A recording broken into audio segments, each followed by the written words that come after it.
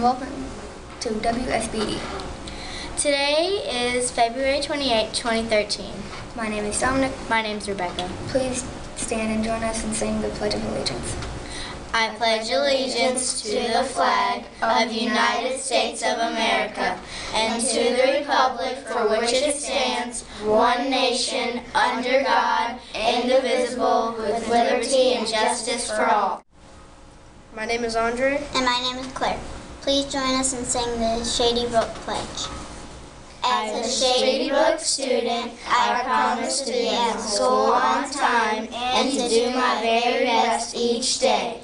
I promise to be safe, I promise to be respectful, I promise to be responsible, and I promise to be... Today for lunch you'll have a choice of taco soup with cornbread or chicken filet sandwich. Jacob, um, the sun was shining bright yesterday. Today, forecast is mostly sunny sky with a temperature high of 53 degrees.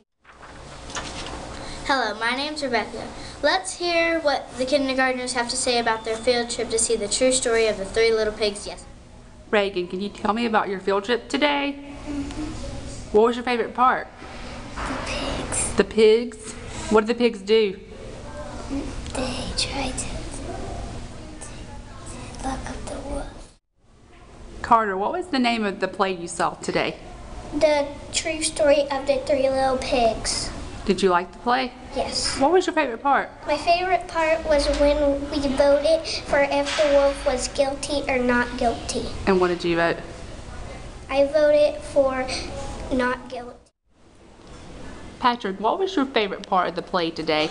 Um, when the big bad wolf was in Gianna, tell me about your field trip today.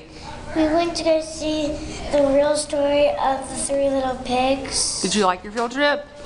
What was your favorite part? When when the wolf kept interrupting the people that were on the stage of the pigs. Did you think the wolf was guilty? Yes, Why was he guilty? because um because he blew down all the wolf, all the pigs' houses. Oh no. Thank Don't forget tomorrow is an important day. We will celebrate Dr. Seuss's birthday with muffins and books from 7:30 to 8:30. Invite a parent, grandparent, or a friend to read with you in your